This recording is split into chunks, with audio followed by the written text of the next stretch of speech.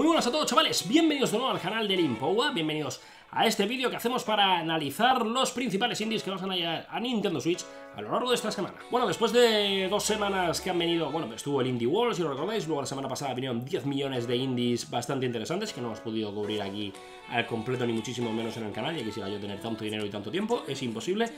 Por fin viene una semana un poco más tranquila, la verdad, viene más tranquila en cuanto a calidad de los juegos, también en cuanto a cantidad. Así es que nada, vamos al lío como siempre, que no hay que liarse. Recordad que la en la pestaña comunidad del canal podéis votar por vuestro indie más esperado. Y como cada domingo os dejo un indie para vuestra Nintendo Switch, os dejo el código por aquí, en este caso lo dejo de Swim Sanity, un multi que vimos ya en semanas pasadas, en uno de estos vídeos de los indies de la semana, parece ser que es un multi bastante divertido, así es que nada, que lo pillamos, que lo disfrute, venga, vamos a ver el vídeo.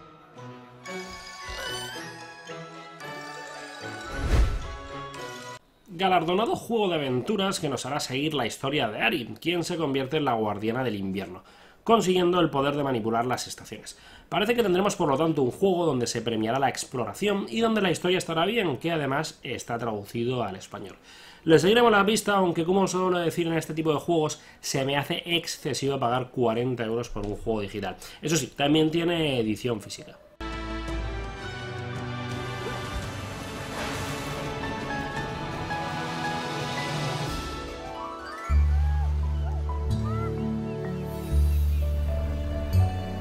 Juego de estrategia por turnos y simulación con toques de título de supervivencia, donde tendremos que evolucionar especies animales sobre una base genética real.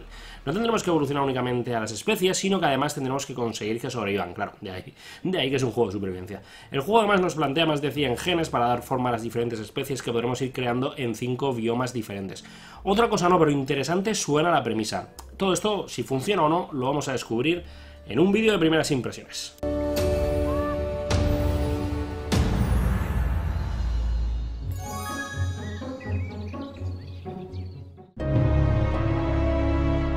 Típico juego rollo Tycoon en el que tenemos que encargarnos de una pizzería, para lo cual hay que hacer las pizzas según nos vayan ordenando al tiempo que con el dinero que vamos ganando mejoramos nuestra pizzería para, obtener más mejoras.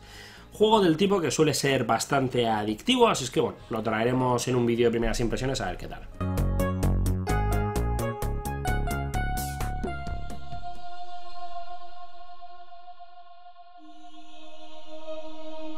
Juego hack slash con una estética muy atractiva y muy pronunciada y una historia bien trabajada que desgraciadamente nos llega únicamente en inglés.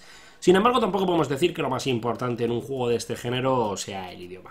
Sin duda, me parece una propuesta muy atractiva, viendo las imágenes, no sé, a mí me llama mucho la atención y le seguiré la pista de cerca a ver qué tal.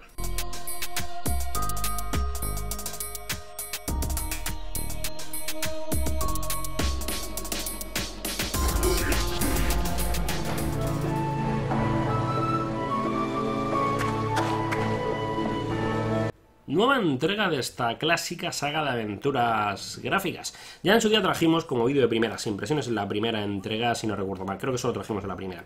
Es una lástima que ahora por lo que veo lo lleva Coach Media, así que básicamente me voy olvidando de poder traerlo como vídeo de primeras impresiones, pero bueno, para los que os interese sabed que están también los dos primeros disponibles para Nintendo Switch.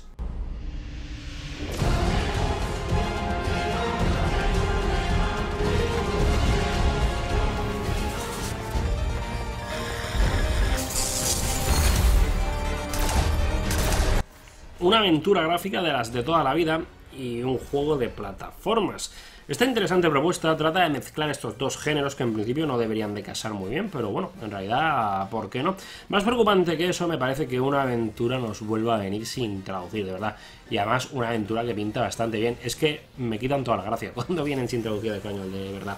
En fin, mm, le seguiremos la pista porque de verdad que tiene buena pinta.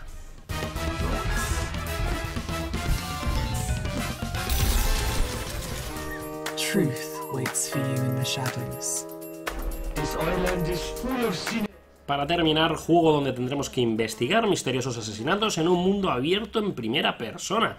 Debería ser un juego de mi estilo en principio, donde hay que ir buscando pistas y desentrañando misterios, lo que a mí me va, vaya, pero es que sí, adivinad, viene sin traducir.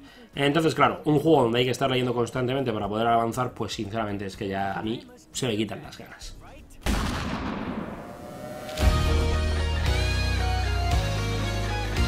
Y nada más, chavales, con esta interesante pero no traducida propuesta, dejamos por aquí el vídeo semanal. Ya os he dicho que es una semana donde, bueno, baja un poco la cantidad, baja un poco también la calidad, yo creo, pero bueno, así nos dan un respiro también a los que vamos comprando indies para poder ir probándolos. Así es que nada, lo dejamos por aquí, chavales. Y la siguiente semana volvemos con más indies para Nintendo Switch.